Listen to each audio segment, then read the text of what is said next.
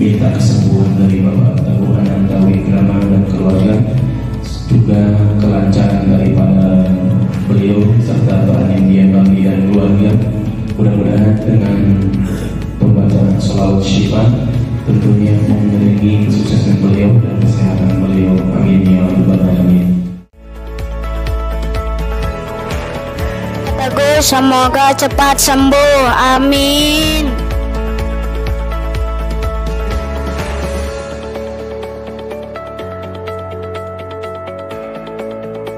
Semoga cepat sembuh Bapak Teguh.